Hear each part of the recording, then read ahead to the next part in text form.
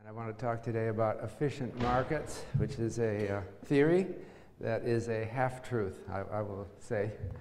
Um, before I start, I wanted to just uh, give a few thoughts about uh, David Swensen's lecture last period. David Swen, Swen well, let me say that first of all, the efficient markets is a hy hypothesis, or the efficient markets theory is a theory that markets efficiently incorporate all public information and that therefore you cannot beat the market because the market has all the information in it. You think you're smarter than the market, that you know something? No, the market knows more than you do. And you'll find out that the market wins every time. That's the efficient markets hypothesis. So it's a very far reaching hypothesis. Uh, it means that don't even try to beat the market. So uh, that was a very rudimentary introduction to today's lecture. Um, but here I brought in David Swensen, who claims, uh, who claims, who is claimed to have beaten the market consistently since 1985 and dramatically. Uh, and so, what do we make of that? that that's, uh, that's the subject of today's lecture. Uh, by the way, after class, one of you came up. Uh, thank you. It was nice. I don't know where you are. Uh, one of you came up and thanked Swensen for his scholarship at Yale. Um, Yale now has need blind um, admissions for the world. And so people, it's not just from the United States, people are helped out so that people who go through, who manage to meet the high admission standards here get uh, make it possible to actually come here. And that's partly, that's substantially David Swensen who did that. Because it's not just the generosity of the university, they have to have the money to do it. Uh, and so somehow he seems to have made it. Now I know that there are still many cynics. The, the efficient markets hypothesis is, remains, uh, it has a lot of adherents still. Uh, and it's, as I say, it's a half truth. Uh, so some people will say Swensen was just lucky. And I say, well, how could he have been lucky for 25 years in a row? Well, uh, not every single year, but pretty, pretty much. And they'd say, well, but you know, you're looking at, you're picking the one guy out of millions, you know, who was just the luckiest. And so those arguments are, are, are made. Um, so, uh, Anyway, I, I, I, one, of, one of you asked a question which I thought was very good at the end, and that is why, in all of my discussion about Swensen and in all of his talk, he never mentioned the Sharpe ratio. Uh, because, as we said, the Sharpe ratio corrects for risk taking. Uh, it's easy to get, that was one of our fundamental lessons when we showed you the efficient portfolio frontier and the tangency line you can get any expected return you want at the expense of higher uncertainty. You do a very risky portfolio and you have high expected returns because of the risk, if the risk is measured right. Uh, and so, uh, but I, you know, I think that's a good, very good question because I caught myself not correcting for. I just said Yale's portfolio had a high return, and I didn't correct for uh, standard deviation of return.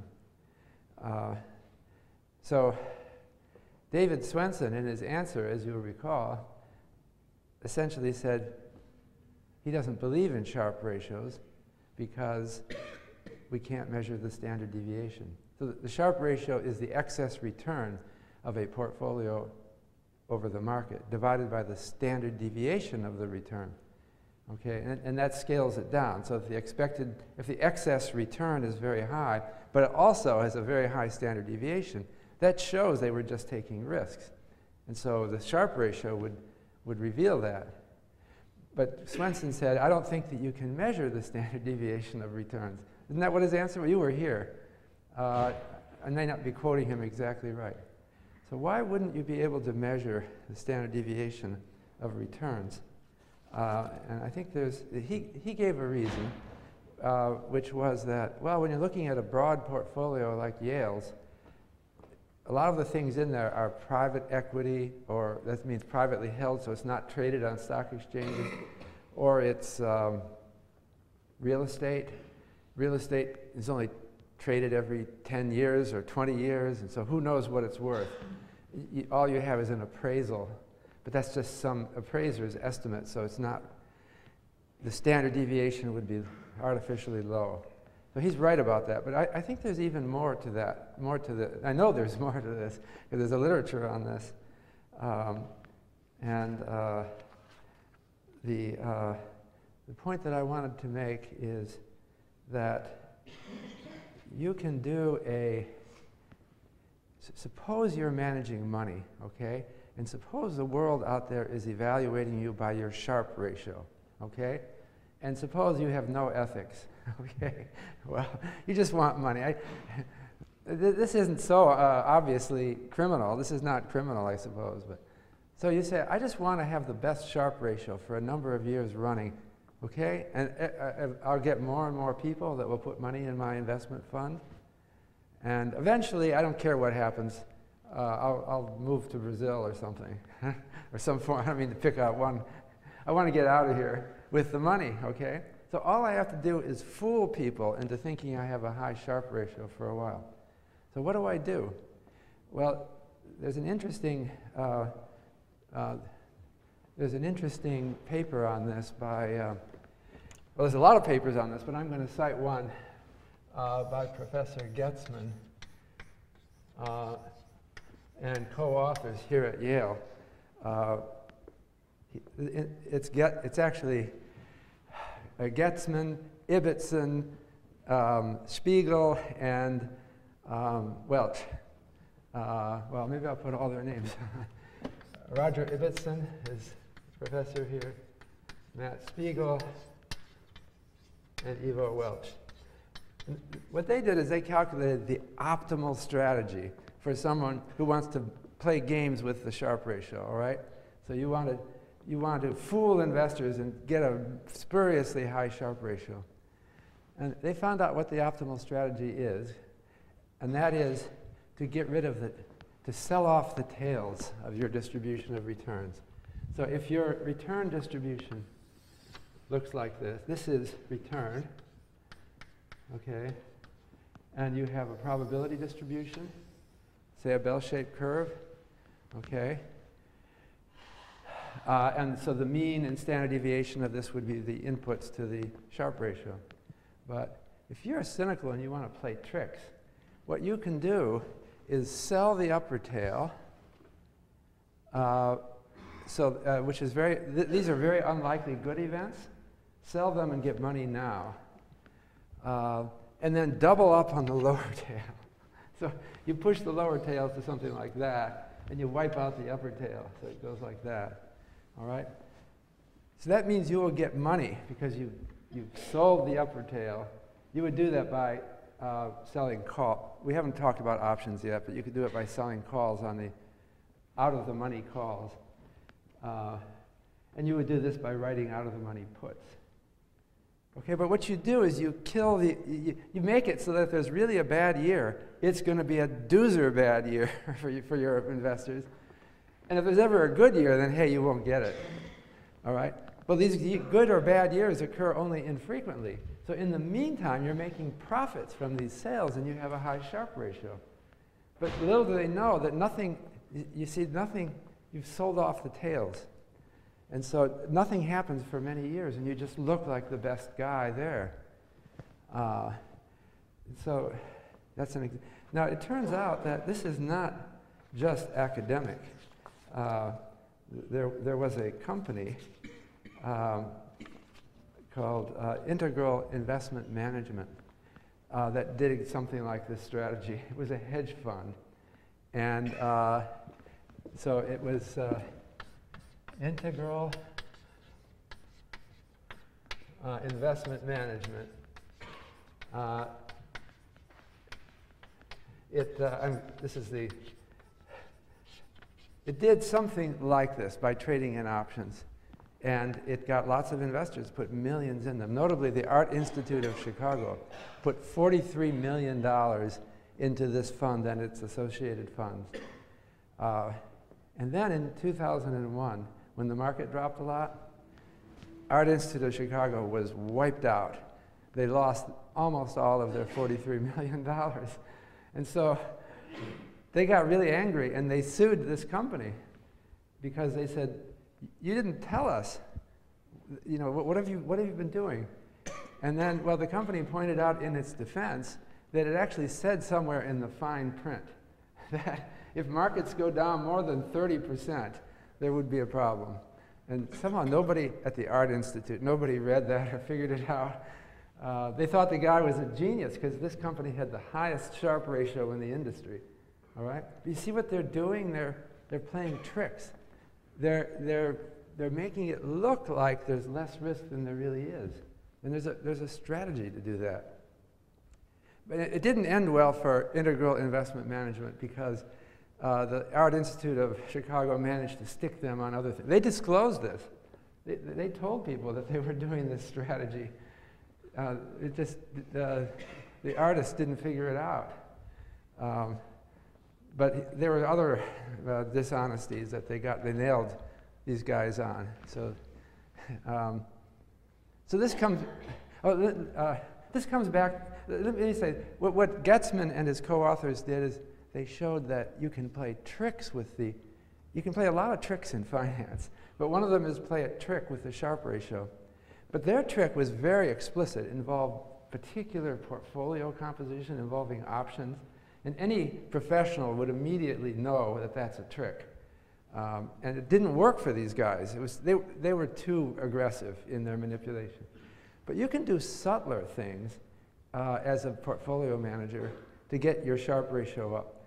Instead of, instead of manipulating with special derivatives positions, you could, um, you could just buy companies that have that have large left tails. They have a, a small probability of massive losses, right? And you haven't done anything except pick a stock. And nobody knows whether it really has a small probability of massive losses. Um, and you could systematically invest in that. And then you'd have a high Sharpe ratio for a while, and then you'd just blow up and lose everything eventually. Uh, I, I was thinking of an example from recent news. What about the strategy of investing in uh, Egyptian companies that are tied to Mubarak? Okay, um, that it might have looked very good for a long time, right? But the companies might have been underpriced because people sensed there's some instability in Egypt. And look how fast it came on, right? I don't know what the outcome will be at this point, but it just happened bang that's a tail event, right? You might look at Egyptian securities and think everything is stable and fine. It's been 30 years, nothing has happened. But someone knows or suspects that there's something maybe unstable, and you as an investor wouldn't know that by looking at the numbers. Uh, so, there, uh, you know, what I'm getting at is, is really what is the essence of Swensen's skill or contribution? Uh, it's not his ability to manipulate Sharpe ratios or, or, or numbers like that. I, I, think what it has to me, in my mind, is something to do with uh, character and uh, um, his, his real self and his real objectives. Uh, and this gets at what people in finance are really doing. I, th- you know, I think that when you take a finance course in a university, you may uh, not get a proper appreciation of how one in a career in finance develops a reputation for integrity. Uh, nobody can really judge what you're doing as an investor because they can't judge it from the statistics. Even though we've developed this nice theory about Sharpe ratios and the like, you end up judging the person and what the person's real objectives are. Uh, so uh, I'll, I'll, probably come back to that theme again. Let me also say this about doing the Goetzmann. Do you understand the strategy? It, it's, it's, it's, a matter of, of um, it's like selling, uh, uh, investing in securities with time bombs in them. Uh, that are going to go off eventually. You don't know exactly when. And uh, they look good for a while, but they'll blow up. What does the law say about this? Well, the law in the United States and other countries emphasizes that an investment manager must not fail to disclose relevant information about a security. And it has to be more than boilerplate disclosure. You could write a prospectus and you could say, for, for, say, integral investment management, you could write up a prospectus and then say, but of course, past returns are not a guide to the future and something could go wrong. That's a boilerplate disclosure because people think, well, that's what everybody says. The law says that you have to actually actively disclose. If there's something that's relevant that would make your statistics misleading, you have to get their attention and explain it to them. That's the law. Uh, so I think it's laws like that, and it's the development of, it's, it's uh, you know, it's not something that we specialize in academia. Well, we are. We're trying to develop character, I suppose, but it's not just Sharpe ratios. And I think that tendencies to rely on numbers like this has led to, um, to errors in the past. So let me go to the uh, more directly into today's lecture.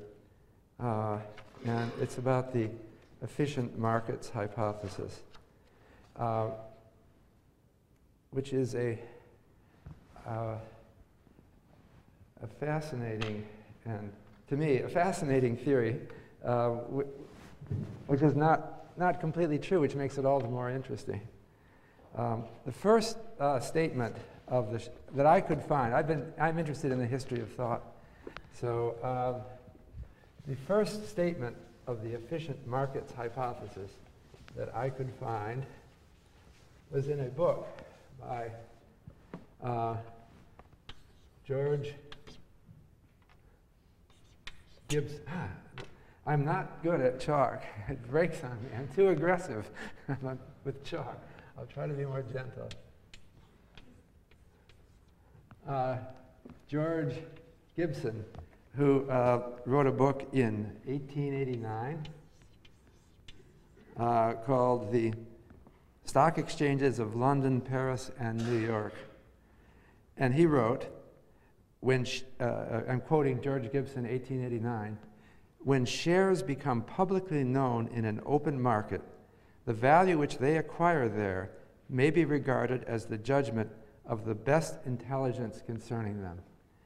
He described the stock market as a kind of voting machine where people vote. If you think a sh share is worth more, you vote by buying it. If you think it's worth less than it's in the market, you sell it. And everybody in the world can do that. It's open to the public. So the smartest people get into it, and they, they, they soon make a lot of money doing it, so they have a lot of votes. So the smarter people have more votes. And you've got everyone there. If anyone has a special clue, they go right in and they buy if it's positive, or they sell if it's negative. So the, the smartest people go right in there and aggressively affect the value until it's right, and then there's no, no incentive to buy or sell. The other thing about Gibson, I, I, I, should have copied the quote, but as I remember from the book, he says something in, in our modern electric age, uh, information flows with the speed of electric, speed of light. okay. And I was thinking, what is he talking about in 1889? Well, you know what he's talking about, the telegraph. And in fact, they had, um, they had ticker machines that would, they were electronic printers that would print out stock quotes. Um, so, you know, they were really in the information age by 1889. So this is what happened. Uh, Gibson said, you can't beat the market. It's just smarter because it's like, it's like Wikipedia is smarter than any one of us, right? Because it puts together all the thinking of all the people. Well, they had Wikipedia of a sort because they had the stock market. They had the price. Uh, so that is the, uh, that is the statement that he didn't use the word efficient markets. Oh, actually, I, looked, I tried to find the origin of efficient markets. Sometimes in the 19th century, people would say efficient markets, but they didn't, it wasn't a cliche yet. It wasn't a, um, it wasn't a, a, a, phrase that would be recognizable. It would be a chance. It, it, even in this context, they would use it, but it was not a name for a theory yet. Uh, so the next, uh, the next uh, uh, efficient markets theorist I have, and I put this on your reading list Charles Conant. uh, who wrote a 1904 book called Wall Street and the Country. Wall Street and the Country. I put that on the, well, one chapter on that on the reading list because uh, it was a statement of the efficient markets hypothesis, uh, which was remarkably well written, I thought. Um, he starts out the chapter by pointing out that a lot of people think speculation is a kind of gambling or a kind of evil. Speculating on the stock market, that sounds like some wild activity that ought to be ruled out. But then he said, you know, how can that possibly be true? It's, the stock market is a central institution of all modern economies. To think that it's just gambling, it just defies common sense. Well, then he goes on and describes what it is that it does. Uh, and there's some really nice passages uh, in, in Conant's book. Oh, in one passage he says, suppose for a moment that stock markets of the world were closed, what would happen? And he said, no one would know what anything is worth. No one could make any calculated decisions. He said that, in fact, capital moves around from one industry to another in respect of the prices that are quoted in these markets. And if you didn't see the prices, you would be blind. Uh, it's often said about uh, the Soviet economy, which uh, did not have stock markets uh, or financial markets, uh, that they relied on prices in the rest of the world. Nobody in the Soviet Union could plan very well because they didn't know what anything was worth. But they, they, at least they had the rest of the world, and they thought, well, that's an approximation to what prices ought to be in the Soviet Union. So they were really relying on, on these. Uh, so uh, then uh, I just wanted to just reiterate a little bit about the intuition of efficient markets. Uh, the idea is that in, if you trade securities, the advantage to being there a little bit ahead of anyone else is enormous, right? If you know five minutes before the other investors about some good news or bad news, either way, it doesn't matter. You know it five minutes earlier, you jump right in and trade. You trade ahead of them, and prices haven't changed yet. You make money. So that has created an industry that speeds information. The, the, uh, the first uh, such uh, industry that I would tell you about is Reuters. Uh, Mr. Reuters, I think in the 1840s, before the telegraph, created a uh, financial information service using uh, carrier pigeons. Okay, you know these are birds, and so when he was in London with some information, they had carrier pigeons that were brought from Paris, and as soon as new information came out, they would tie it to the foot of the little bird and they'd let it go, and it would fly to Paris. They would go to its roosting place. The message would be read, and subscribers would be notified. And that was no joke. That really worked because you would have information hours or even days before everyone else in Paris. So you could make a killing. So Reuters today, it's now called Thomson Reuters, is still in that business. This was a, the, the, the carrier pigeons were a brilliant idea. But uh, they had to keep up with the times because shortly thereafter, telegraph was invented, and the pigeons no longer were the leading technology. But maybe that was the beginning of the information age with pigeons. Uh, now we have beepers, and we have the internet. A beeper is something you can carry in your pocket that beeps when there's financial news. So suppose a company makes an, an announcement that it has um, that it has, say, a new drug that is, that's successful in trials, um, as soon as they make the announcement, they make a, uh, it, then goes out electronically everywhere, and the beepers start beeping, okay? And all the investment analysts, they drop their morning coffee, they do anything, because they know they've got to act fast. So you, you get this new announcement. Now it's T plus 20 seconds. He's got his drug specialist on the phone. Okay, what does this mean? Quick. How much is it going to go up? And so the guy says, I don't know, first thought, maybe it's going to go up $2 a share. Okay, it's only gone up $1 a share. I'll buy right now. And now, now it's two minutes after the announcement. Um, and, uh, and then the, the, analyst says, I thought about it a little bit more. No, I only think it's $1.50 a share. And uh, anyway, this is homing in. And so the price is jiggling around rapidly as all this is happening for a few minutes. And then it settles down because after, I may be exaggerating, after 10 minutes, they've kind of gotten it. They've kind of figured it out, and it's reached its new level. Okay? Uh, it, they'll still be more, they'll be thinking about it, they'll be thinking about the next morning when they're taking their shower, and they'll get a better and better, more refined idea of what the price is. Okay? But, but here's the efficient markets. And you, the next day, read about it in the Wall Street Journal in the morning. You're now 24 hours late, okay? So you call your broker and say, maybe I should buy this stock. They've got this new breakthrough. Well, your broker might laugh at you, right? Because you're 24 hours late. And what do you know anyway about, about pharmaceuticals? Um, that's where the efficient markets hypothesis is true. You can't expect to routinely profit from information that's already out there.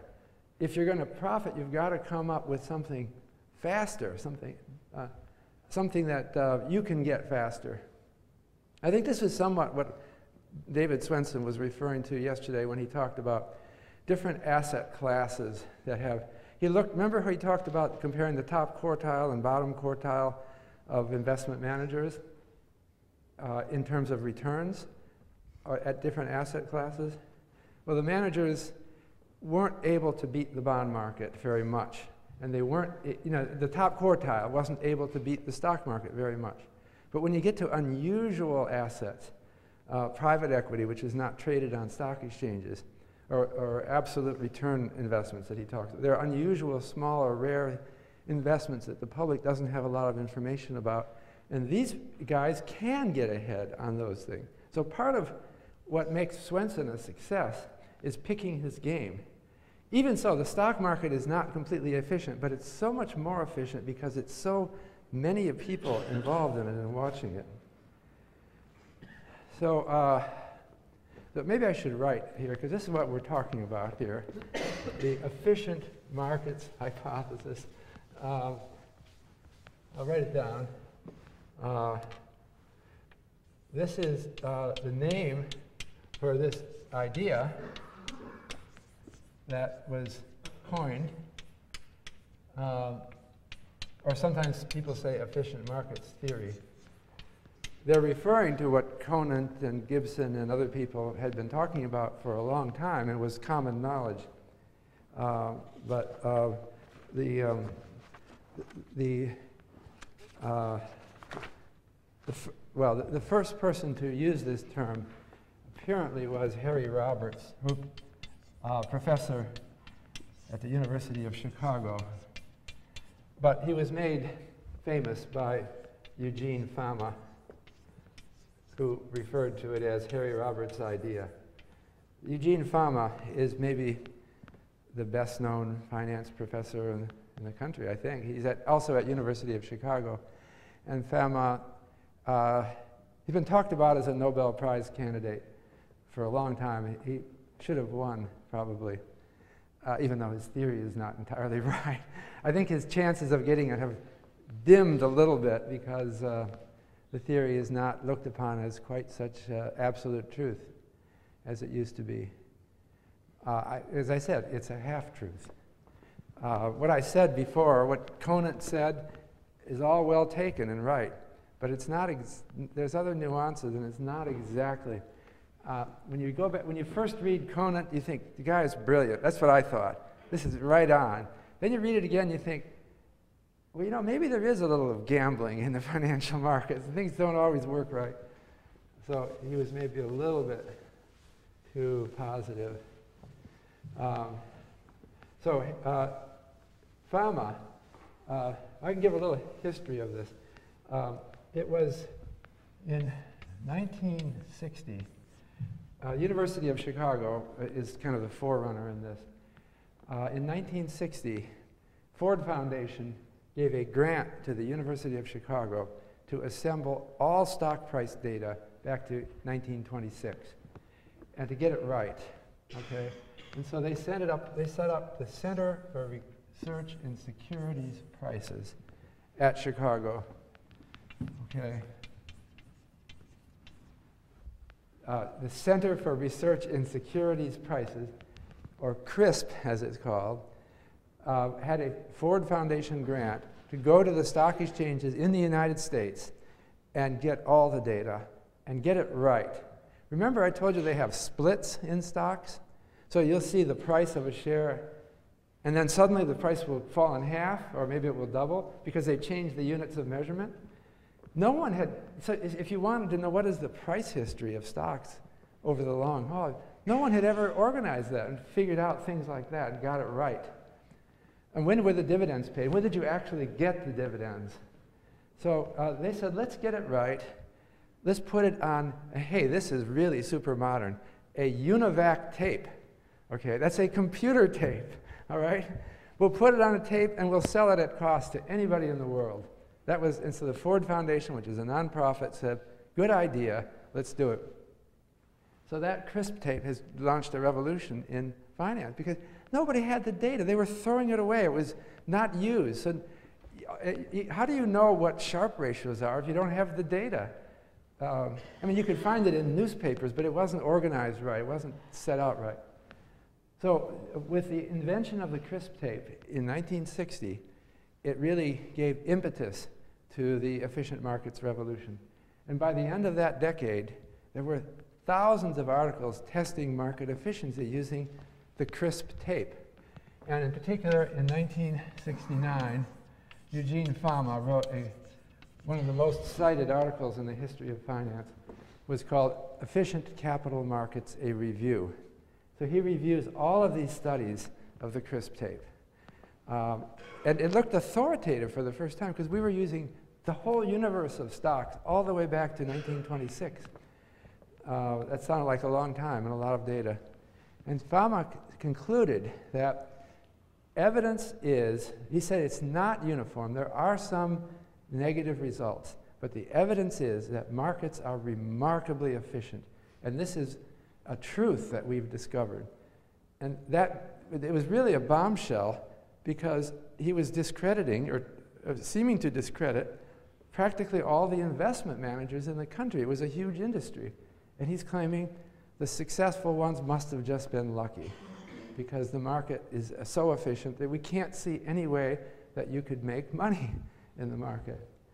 Uh, and so uh, that, uh, the, the high point of the efficient markets hypothesis was probably in the 1970s. I'll call that the high point. It seemed at that time that all of the scholars were finding that there was no way to beat the market. But it started to deteriorate uh, the, the uh, support for efficient markets hypothesis. Um, and so uh, uh, I wanted to, there's been a change in thinking. Efficient markets is still regarded with respect, but not the same respect that it had in 1969 or in 1979. I have here some indication of how thinking has changed about efficient markets. Uh, I had the textbook that I used to use for this course. I've been teaching this course for 25 years. Fabozzi et al. wasn't even written when I started. So I was using a textbook called Brealey and Myers, uh, uh, that uh, Principles of Corporate Finance. Uh, and I still have all these old editions. It's, kept, it's a very successful textbook. Uh, but uh, I, I, I, since I was teaching out of it over all those years, I, went back and looked. I don't have the first edition of that, but I have the second edition, 1984. And I was teaching out of it in the same class in 1984. Um, at the end of that book, there's a chapter on uh, the, the seven most important ideas in finance. And one of the ideas is efficient markets. And quoting the textbook, Brealey and Myers say, security prices accurately reflect available information and respond rapidly to new information as soon as it becomes available. Okay, they, they do qualify it in 1984. Don't misunderstand the efficient market idea. It doesn't say there are no taxes or costs. It doesn't say there aren't some clever people and some stupid ones. It merely implies that competition in actual capital markets is very tough. There are no money machines, and security prices reflect the true underlying value of assets. Okay, let me repeat that. Security prices reflect the true underlying value of assets. Okay, uh, that's almost uh, that's a pretty strong statement, right? That, uh, but that's that's efficient marketing. They just said it in their second edition of the book. Uh, I, I, not many people would say that, right? Trust the stock market. Don't trust the people you know and love and trust. Trust the stock market. Well, they deleted that from later editions of their book. And I think that's a sign of um, a sign of changes. So uh, I, I was looking at the 2008 edition. They've now taken on a third author. They're getting tired of coming out with more and more editions of their book. So they've taken on Franklin Allen from the Wharton School. Um, they've deleted what I just read. And now it says, I'm quoting from them, much more research is needed before we have a full understanding of why asset prices sometimes get so out of line with what appears to be their discounted future payoffs. All right, that's a complete turnaround in the textbook. So this is one of the most popular textbooks, uh, and they've changed completely. So it, I think we have an idea that started in 19, around the 1960s. It was somehow associated with computers and electronic databases and modern thinking and mathematical finance, and they kind of went too far with it. And they, they concluded that you just can't beat the market. Um, another thing I put on the reading list is a reading from the New Yorker magazine. It just came out in uh, December. Uh, I thought it was relevant. It's by Jonah Lehrer, and the title of the article is The Truth Wears Off. Subtitle Is There Something Wrong with the Scientific Method?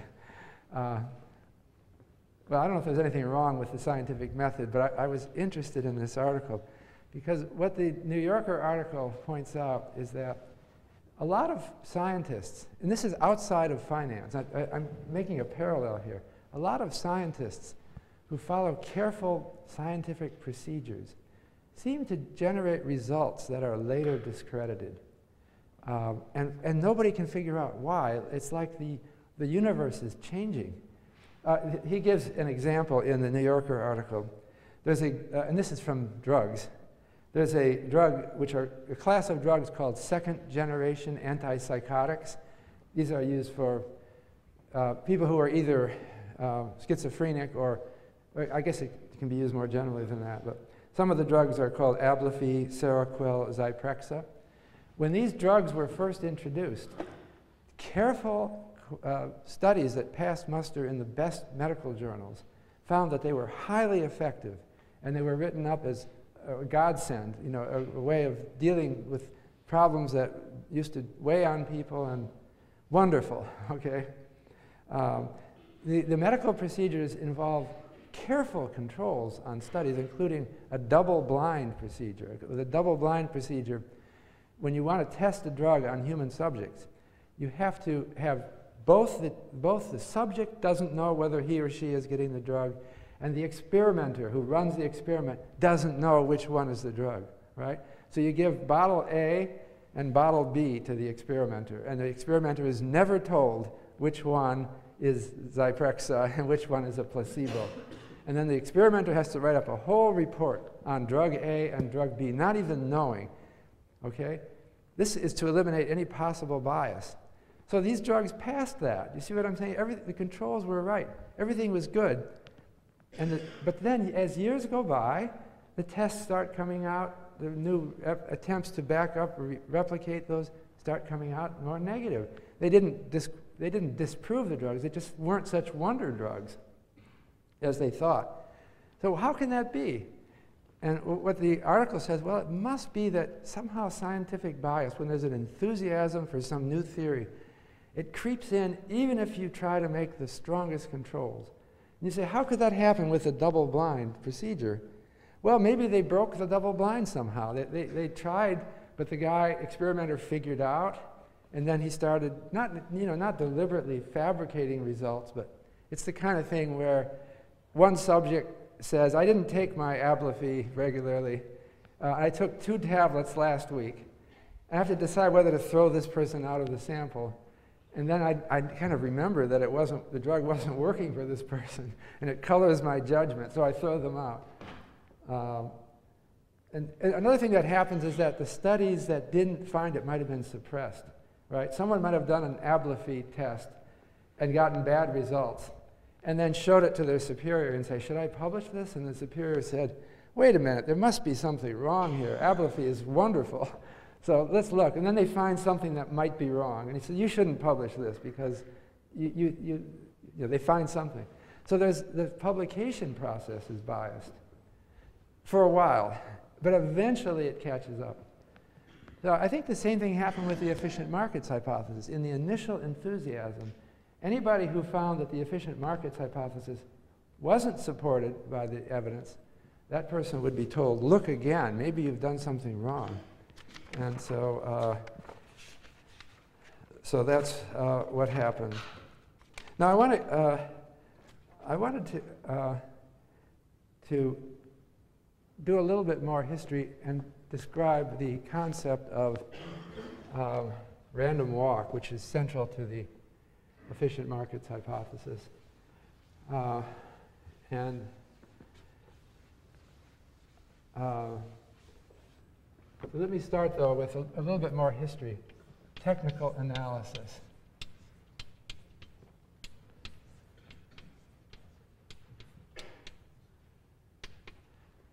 This term goes back, must be over 100 years. Technical analysis is the analysis of stock prices, or maybe other speculative asset prices, by looking at charts of the prices and looking for patterns that uh, suggest movements in prices. Uh, the, the, classic text of uh, a technical analysis is Edwards and Magee. Um, Magee has there's a famous story about he was a, he was not a professor he was a Wall Street uh, uh, analyst and uh, the story about him is that he believed that you look at the prices and you can predict prices. And in fact he said I don't want to look at anything else.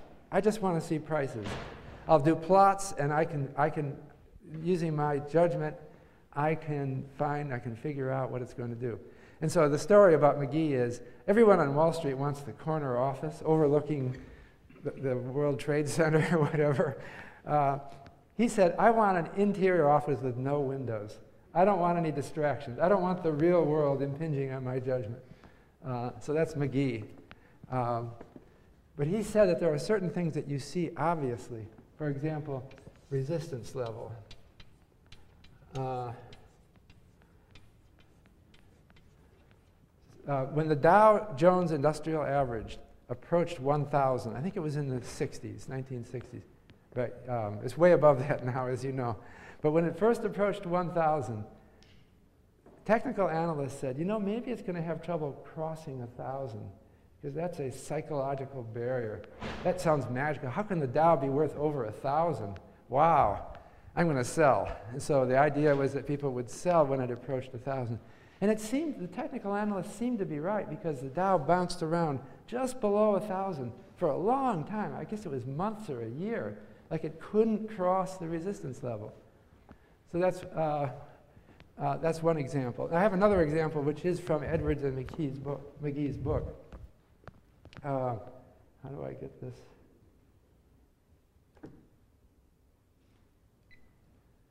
Uh, is not coming up. Oh, that's because my thing went into hibernate. I have to do my password. there we are. That's Edwards and Magee. This is one of the patterns. Uh, Magee was a, actually a student of psychology, uh, and he thought certain kinds of patterns seem to have really spooked people. Uh, and this is one pattern which he called head and shoulders. Okay?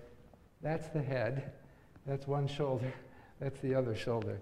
And he said, when you see this pattern, watch out. It's going to actually totally collapse, as it is shown doing. And so he had you plotting, these are stock prices plotted against time. This is, I don't know what the, these are days. Each of these points is a day. Uh, and this is from their book, so it's a hypothetical. Uh, you, you, hardly ever see such perfect head and shoulders patterns. Uh, And so that's, uh, uh, that's one of the, that, maybe that's his most famous, Edwards and Magee, most head and shoulders. So the question is, does it work? Does it really work? Uh, well, if, uh, in, in the early 1970s, when the efficient markets hypothesis was really strong, uh, Burton Malkiel, who was a, a, professor at Princeton, and then later he was the dean of the Yale School of Management, wrote a book called A Random Walk Down Wall Street, which claimed that technical analysis was bunk.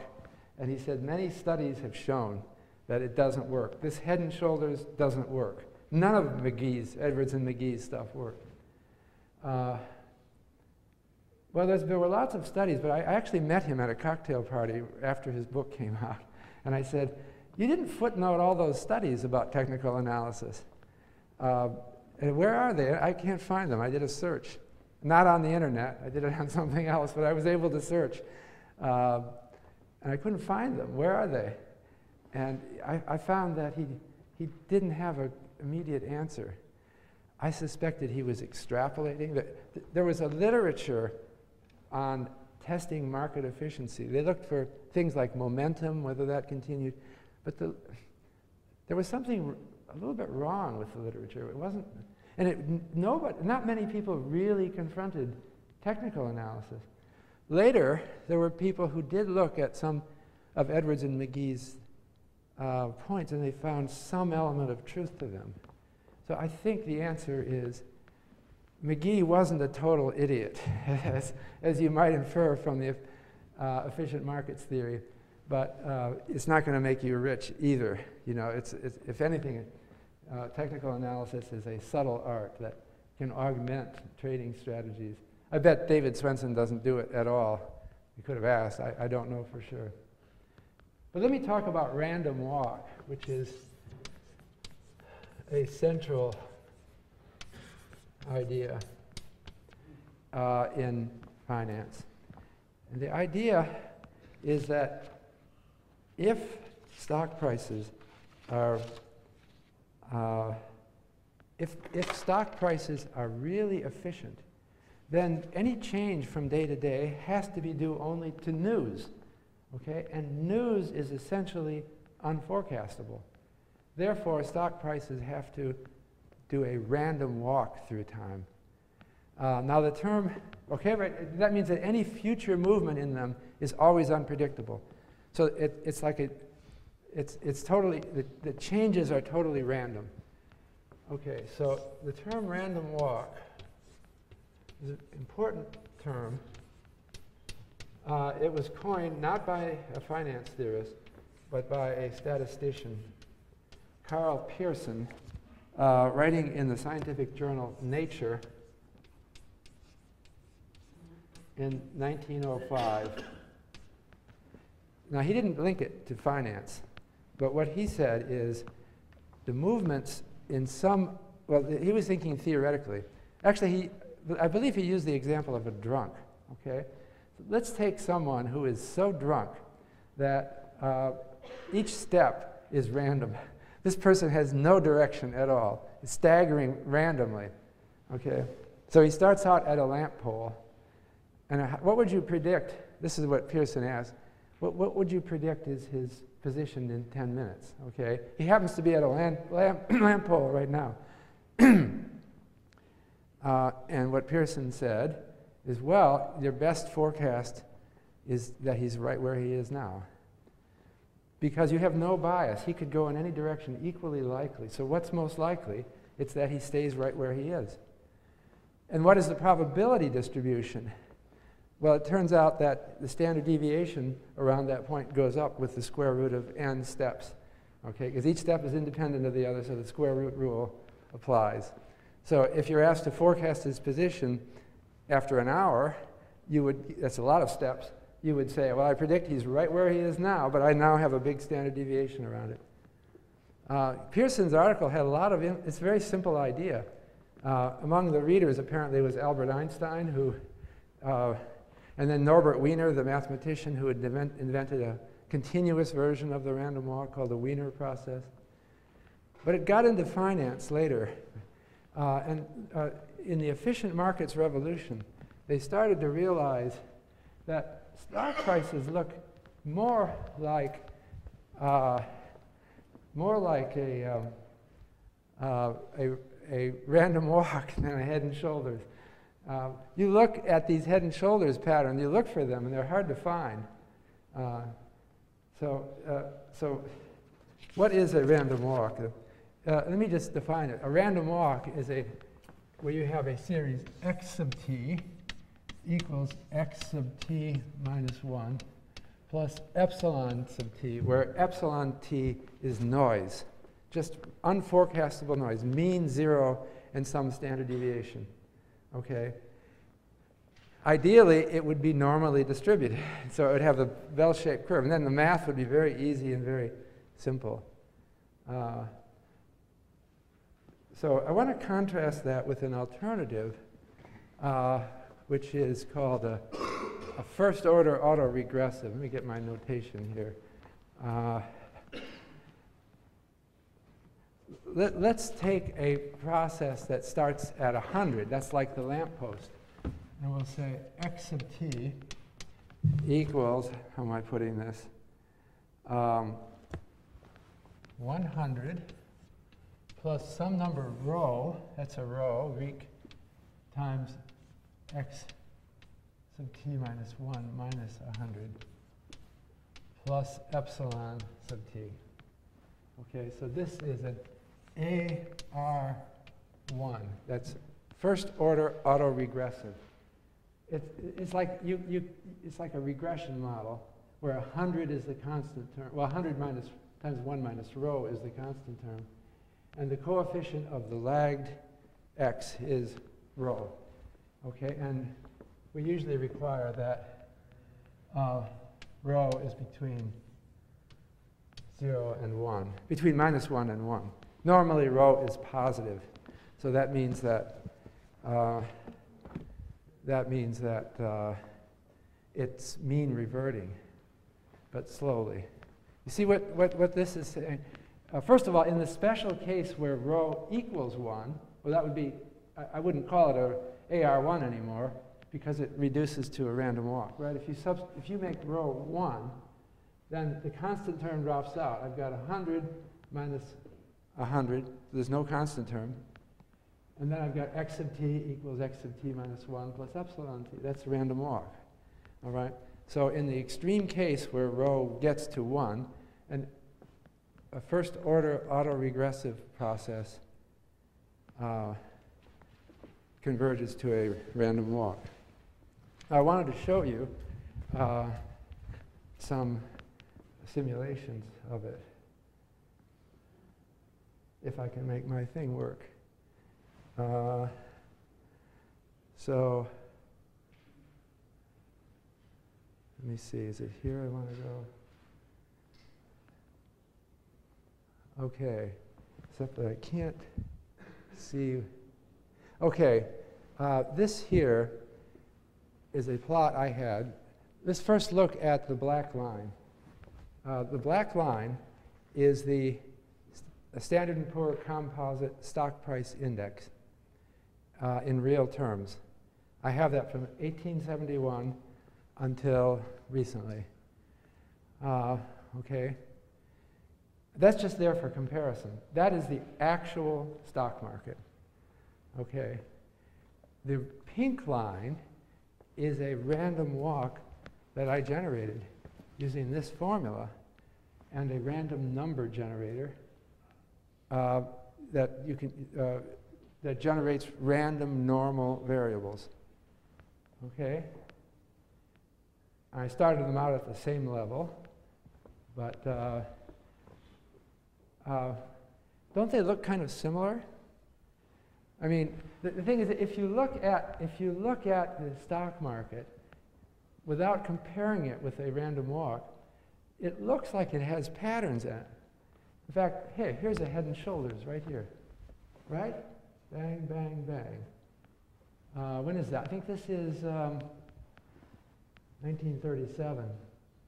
Uh, this is uh, when is that? I'm not sure. 1930, 31. And this is uh, just before the war. I'm not sure exactly when those. There's a nice head and shoulders. And hey, Edwards and Magee are sort of right, right? They dropped a lot after that. But, uh, you know, I can find head and shoulders up here too, right? Maybe. On the pink line. The pink line, you understand it? The black line is actual US history. That's the stock market. The pink line is, uh, is, a, um, uh, is, a, is a fake stock line generated with pure random noise. And the fact that it's going up is just chance. Now, I can actually use this program to generate other examples. So I'm going to, the black line, this should change. Let me see, make sure it's working here. Yeah, the black line is the same. I'm not going to change the black line. The black line is history. I just did a brand new random walk calculation using my random number generator, uh, which is there on Excel. Uh, that looks pretty good, doesn't it? I, I just did that by, I'm going to do more for you. Uh, which one is the real stock market? I find that hard to tell, right? Uh, this was an insight. The insight is that people get deceived when they look at stock price charts. They think they see patterns. That pink line is guaranteed to have no patterns because I generated it so that there are no patterns, unless except random patterns. But when I look at this pink line, which just came up, look at that uptrend. Wow. That's called a bull market when it goes up. And I could make all kinds of theories about why that's happening. But you know, those would be fake theories because I know what's really happening. This is pure randomness. So I'll do it, I'll do it again. I can do this forever. That's another one. Here the trend wasn't quite so positive. Uh, oh, actually, I have to say one thing. I forgot. I did put an uptrend in the random walk. Sorry. In this simulation, I, I did add a, uh, a constant so that it pushed it up. Otherwise, it was a random walk. I say here, and I forgot what I did. It was a random walk with trend. But it doesn't guarantee that it will go up because it's random. I'll do another simulation. Um, I do another. See how fast I can do these? This is the wonder of modern computers. That one doesn't look. If this were our history, people would say, the amazing stock market of the first half, look at that stock market of the first half of the 20th century. And we would be devising all kinds of theories to explain it. But in fact, it's just nonsense. It's just randomness. Uh, I'll, do a, I'll do a few more.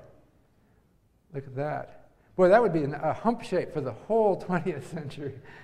we would have historians trying to figure that one out. Oh, this one downtrend. This, this is a bad outcome. This is the, the uh, Jeremy Siegel would not be pleased with this outcome because it, uh, it has the stock market uh, gaining nothing in 100 years. Um, so these are all equally likely outcomes. Um, look at that one. If, if that were the world that we inherited, we would really think there was a linear trend to the market, right? We, people would be making models saying, it just goes up. Look at that, how straight that line is. Uh, the, the, point is that you start to see a sort of reality, which is really just randomness. Uh, that's why um, uh, Nassim Taleb, is a, a, friend of mine, wrote a book called Fooled by Randomness. That was a great title for a, and a great book.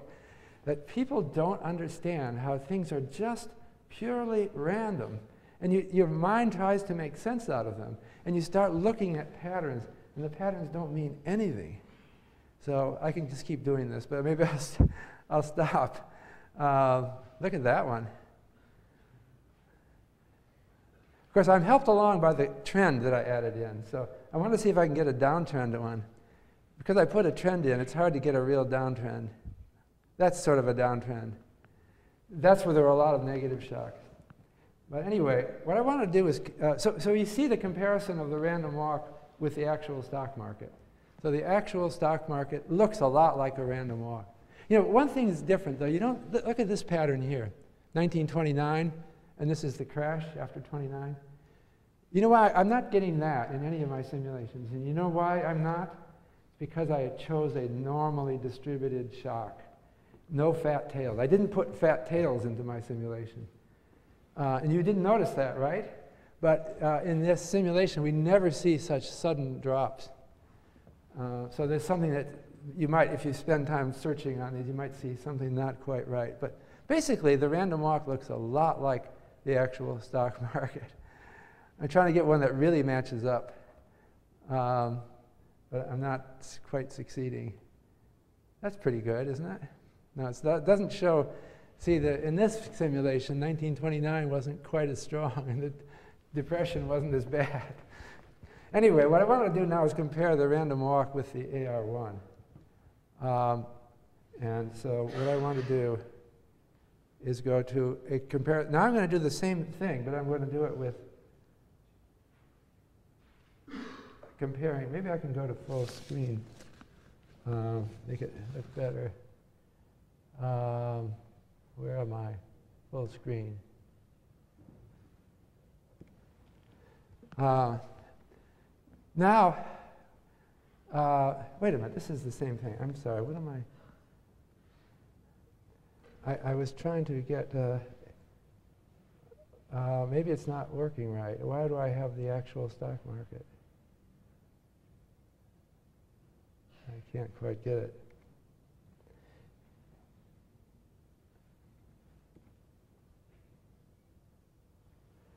Oh, I see. I know what I did. I'm sorry. This is, the pink line is now a AR1 process, okay, which is, which is this process. So it's mean reverting now. and I left the same stuff. I'm not comparing the random walk with the AR1. I'm just doing the same thing now with an AR1. Now, the, the, the thing about AR1 is you realize that it wants to come back to 100. Uh, well, I put a trend in. Uh, so it's, it, it's actually coming back to a linear uptrend in my model here. Uh, what I did is uh, I put in a time trend as well. Um,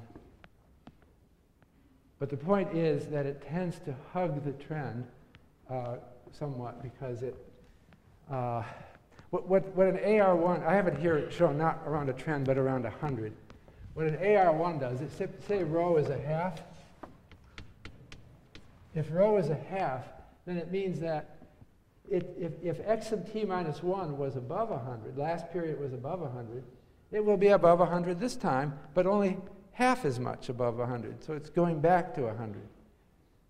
Uh, and then the next time, it'll only be half again as much above 100 as it was the last time. So it, goes, it tends to go back to a trend. But what I've shown here is a simulation with a random number generator uh, of a uh, AR1 around a trend um, where the trend matches the actual trend in the stock market. Uh, now, in this case, there is, this is not random walk, and there is a profit opportunity. And the profit opportunity is when it's below trend, buy. When it's above trend, sell, because it will tend to come back to trend. Uh, I think it looks a little, I, I, chose a rho which was very small, uh, uh, something like a half, I think. So it tends to come rapidly back to trend. This does look different than the actual stock market, doesn't it? It's, you see how much it hugs a trend? So uh, it doesn't seem to fit as well. Uh, let me, let me, I can do simulations of this too. See, this is different.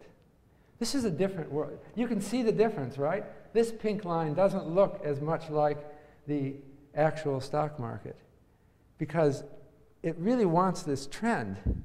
Right? We, we saw trendy ones occasionally by chance with a random walk, but here we're seeing it's always on a trend. And so in this world, if the, if the stock market were an AR1, it would, there, there would be a profitable strategy. Always buy when it's below trend and sell when it's above trend. Because you know it'll come back. You can see how reliably this comes back to a trend. All right? So you can see that there's a fundamental difference. The random walk seems to fit the data better than the AR1. It, the random walk theory says that stock prices are not mean reverting. Where they go from today is all random. If they're above the historical trend, meaningless. The historical trend is just nonsense, it's just random. And forget trends, forget anything. It's always the drunk at the lamppost, no matter where you are in history. But this one, if rho is substantially less than 1, looks a lot different, doesn't it? This is, with rho equals a half, this is not the world we live in. It would be too easy to make money. All these little oscillations around the trend I could profit from. But in the real world, it's not like that. Now, but what about, uh, what about, suppose the real world is AR1 with rho equal 0.99, okay? What about that? Well, that's not much different from a random walk, is it? It's going to be hard to tell the difference. So that, uh, the, the, in, in the efficient markets theory period, people were really excited about the random walk hypothesis. That's why Burton Malkiel's book, A Random Walk Down Wall Street, which he came out with, I think it was in 1973, right after Fama, it became a huge bestseller. It sold over a million copies. Because in the, at that time, people were thinking, this is exciting new wisdom. We've learned the stock market is a random walk. And there's all kinds of implications for that. The problem is, and I, I have to wrap up, the problem is that the random walk hypothesis wasn't exactly right. It's, it's sort of right. You've gotten some insights. But you know, maybe the real world is AR1 with a rho close to 1. And in that world, there are profit opportunities, but they take a long time to come. So if, if the real world is AR1 with rho equal 0.99 or 0.98, that means you can go into, you can buy stocks when they're below trend, but then you have to wait 10, 20 years for them to get back to trend. So it's, it's like the, um, the drunk on the lamp pole. The drunk is standing next to a lamp pole. It, it was a random walk, but now we put an elastic band around the drunk's ankle and tie it to the lamp pole, and it pulls him back. Now, if we have a very loose elastic, this guy can wander for a long time, but will eventually be pulled back.